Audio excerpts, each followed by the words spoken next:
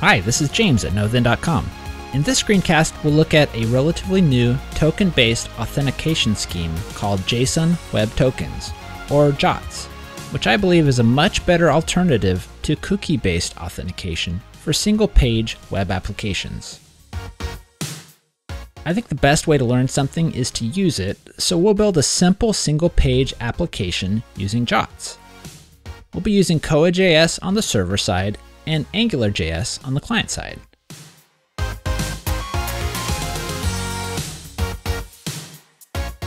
So how do JWTs work? Well, in a nutshell, when the client logs in, they get a token back from the server instead of a cookie. The token includes something called a claim, which is simply a JSON object which includes whatever you, the developer, considers necessary. Typically, this would include the user ID as a minimum, but could also include other things, such as the username or security roles. The client saves the token, then on subsequent requests, passes the token as part of the request header. When the server receives the request, it validates passed tokens and sends the appropriate response. Before we start coding, let's take a quick look at the finished demo application. We have a page that shows the current client-side token. If we look at it right now, you'll notice there's nothing there. That's because I'm not currently logged in. We'll come back to this view in a few moments after we've logged in. Now let's go to the logs view, but as you can see, we get redirected to the login view. The logs view only works for authenticated users. We'll come back here after we log in. Now, before I log in, I want to open the developer tools so I can point out what's happening behind the scenes as we interact with our application. We'll go to the network tab and I'll clear the network activity so we have a nice clean starting point. Now I'll go ahead and log in. When I press login, an HTTP post request is made to our server. On the server side, my credentials are validated and a token is sent as a response. Then on the client side, the token is stored in local storage. Let's look at the response, and what you see is a JSON response with a token property. We'll see this token get sent to the server in a moment when we send our next HTTP request. Okay, let's try to go back to the logs view, and this time it lets us.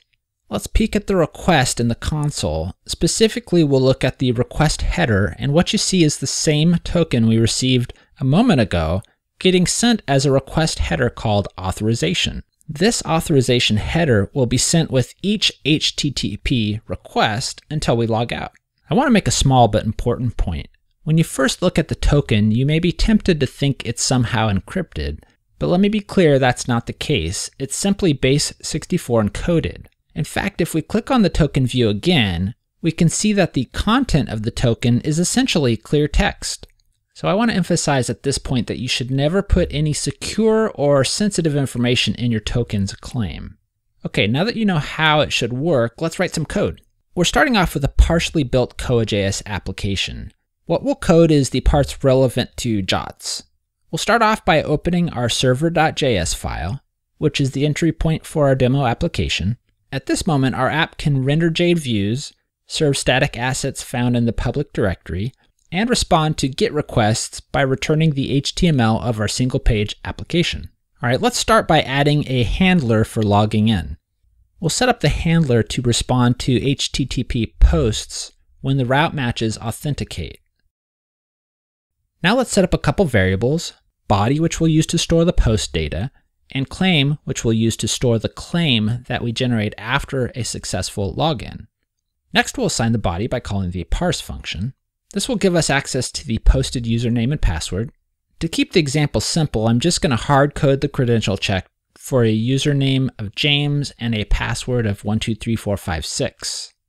Now we'll build a claim object which includes a user ID. Keep in mind, what you include in your claim is completely up to you. Now I'll set the response body to an object with a token property. So now the question is, how do we generate that token, or the JWT? To do this, we'll pull in the JSON Web Token package, which offers a simple API to create and verify tokens. Now we'll call jwt.sign, passing in our claim, and a secret used to sign the token. We haven't created the secret yet, so let's go ahead and create that at the file scope so it's accessible by other functions that need it. Let's add an else clause for when the passed credentials don't match James and the password 123456, in which case we'll send a 401 status code.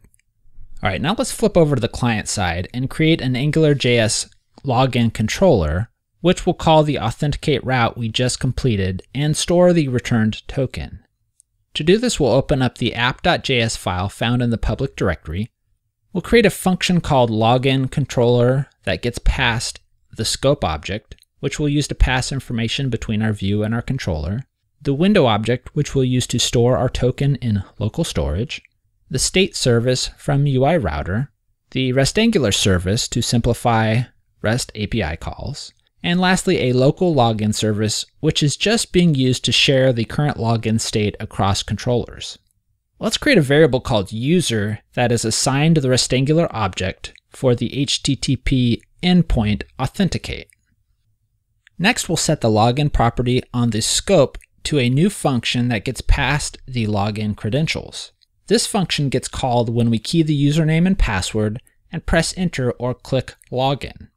Now we'll have our user Restangular object make a post request passing along the login credentials. Calling post returns a promise.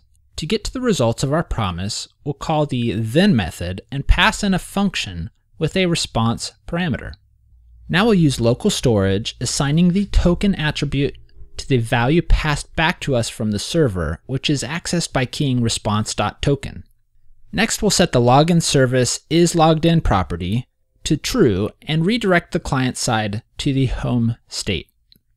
Now we'll deal with the scenario where the login fails. We'll do this by passing in a second function to our then method.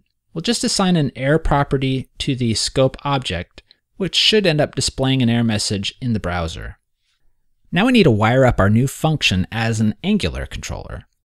This is done by calling app.controller passing in a string for the name we'll use in the HTML to assign this controller, and lastly, the name of our new function. Now let's write the logout controller function, which takes the window object and a login service. All we'll do for this function is remove the token and set the login service is logged in property to false. Next, we'll wire up the login controller as an AngularJS controller, just as we did with the login controller. Okay, we've got the basics of the login and logout flow done. Now let's work on getting the client to send the token with each HTTP request. We'll write an auth interceptor function, which is basically a hook that Angular will call prior to sending each HTTP request. It's our opportunity to insert our token as a request header. Our auth interceptor should return an object with a request property. We'll assign the request property an anonymous function that gets passed a config parameter. The config parameter gives us access to the request headers. So if a token is stored in local storage, then we'll assign the token to the authorization header by concatenating the word bearer space plus our token. Lastly, we'll return our altered config object. Now we need to configure AngularJS to use our auth interceptor we need to use the HTTP provider calling the interceptor.push method and passing in the name of our interceptor. And lastly, we'll call our factory method and pass in our new function. Now let's flip over to the server side and deal with the token that's being sent in the request header. The way we'll handle this is with custom middleware. Basically, we'll check to see if the token is being passed, then we'll verify the token and store the token's claim as a user property on the request object. Doing this will allow downstream middleware easy access to the currently logged in user. Let's start by calling app.use, passing in a generator function that has the next parameter. We'll create a few variables, auth header, which will store our authorization header, which if you recall is a combination of the string bearer, space, plus our actual token, token to store our jot, elements, which we'll use to store the two parts of our header value, and lastly, scheme, which should be bearer. Let's assign auth header the actual header value if it was sent.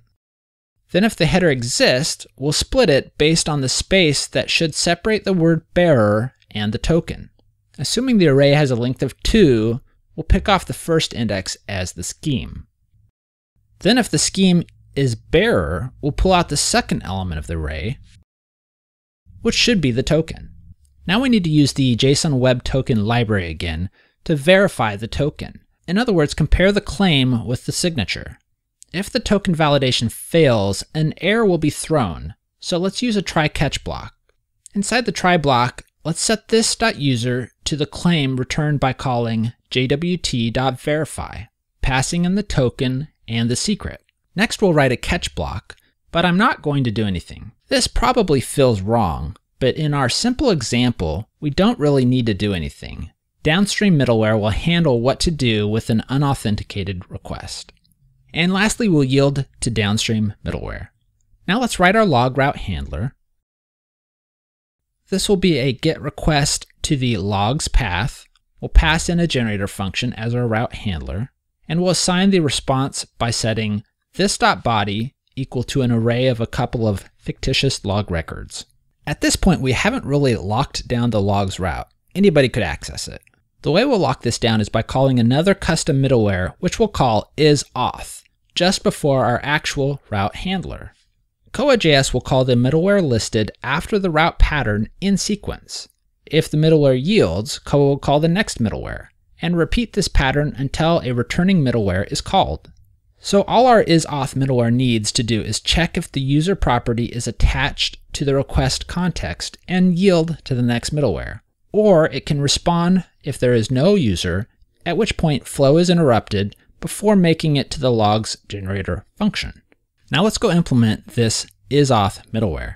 isAuth will be a regular function that returns a generator function that takes a next parameter.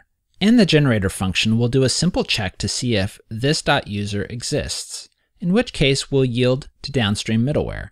In our case, the logs generator function. If the user doesn't exist, we'll return a 401 status code by calling this.throw, passing in the status code, and an error message. Okay, that's it. Let's go ahead and start up the server. Now let's open up Chrome and try it out. We'll try to look at the logs, which redirects us to the login view. Now let's log in and head back over to the logs view. And it works. Well, that covers the basics of JOTS. If you found this helpful, I would encourage you to join my mailing list so that I can let you know when new screencasts are available, as well as provide other valuable information. Thanks. Goodbye.